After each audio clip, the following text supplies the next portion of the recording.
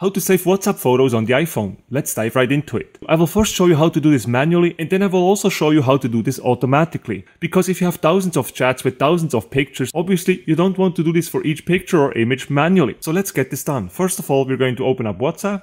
Now I'm just going to open up a chat here and we have a lovely picture of a dog here. So now it's important to understand that this picture here actually only exists here in the chat, but it's not automatically saved on your iPhone if you don't adjust the settings. So with that said, if you would just like to have that picture on your phone, then you could do this by simply tapping on it. And then you would tap on the share icon in the lower left corner of the screen. And then just tap on save. This will save the photo in the camera roll. So when you open up the camera, then tap on the camera roll icon the photo will be there. Cool. So now let me show you how to do this automatically for every picture and image that you get in WhatsApp. Again, we're going to open up WhatsApp first.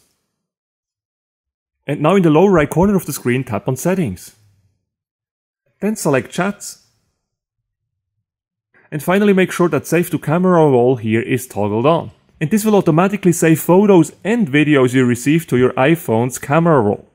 Now in a WhatsApp chat, whenever somebody sends you a photo or a video, then this photo or video will be automatically saved to your iPhone and you will be able to find it in the camera roll that you can access by tapping on the camera, followed by tapping here on the camera roll icon, or you can also find these images, pictures and photos in the Photos app. Just open it up and there you go. And this is how you save WhatsApp photos on your iPhone. If you enjoyed this video, make sure to smash the like button and subscribe for more iPhone and WhatsApp tutorials.